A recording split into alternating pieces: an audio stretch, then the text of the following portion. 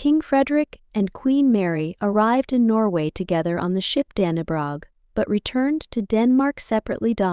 Why did he return alone on the Dannebrog and not with her?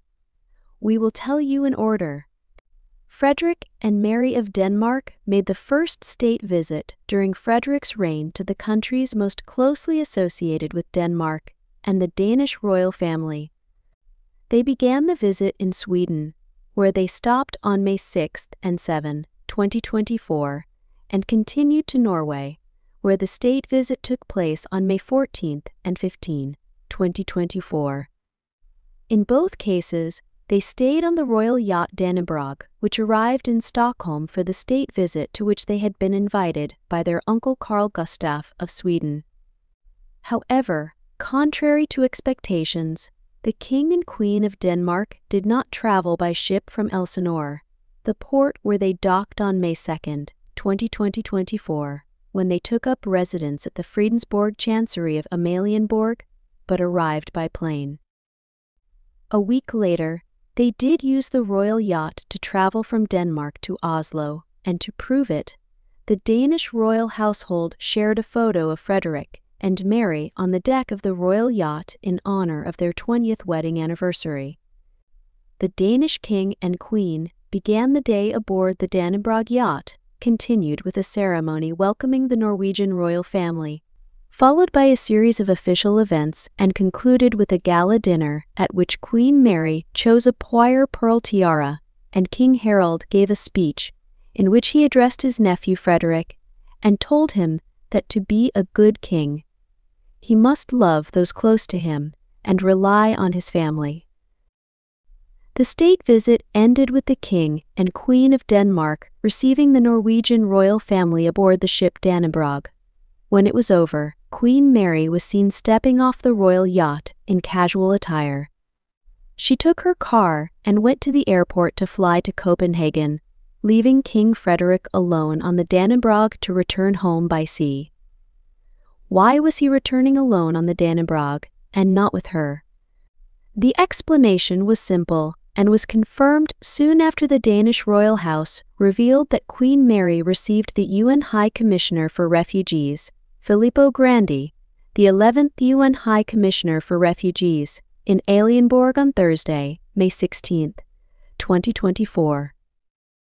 Queen Mary needed to return quickly from Oslo and could not afford the sea crossing between Norway and Denmark, so the easiest solution was to fly by airplane.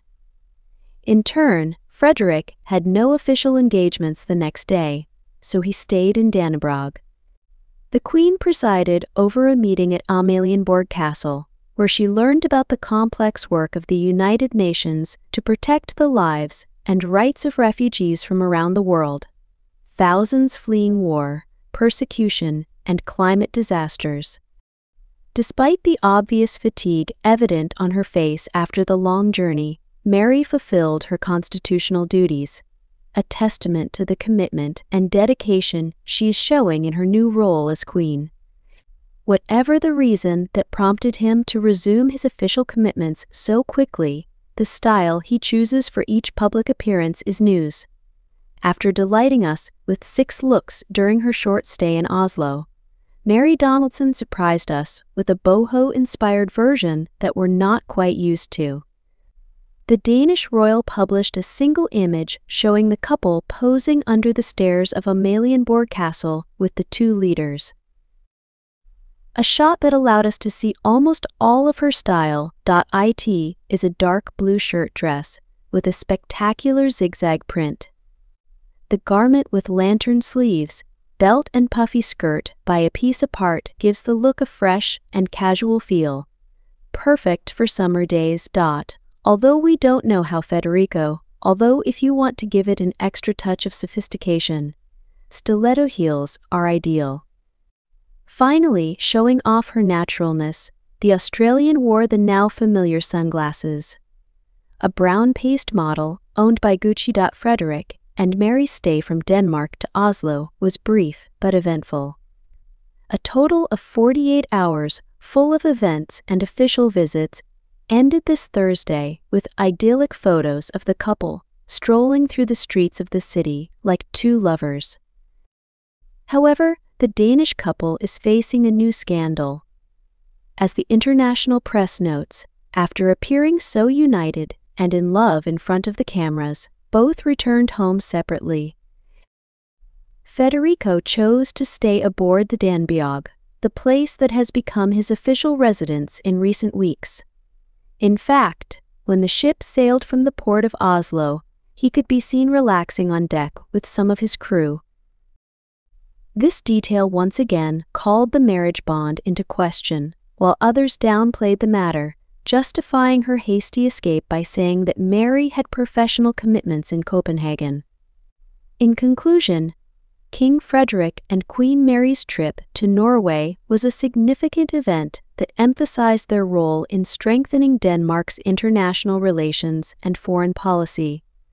Queen Mary's return to Denmark by plane rather than on the royal yacht Dannebrog with King Frederick caused much speculation and rumors about the state of their marriage.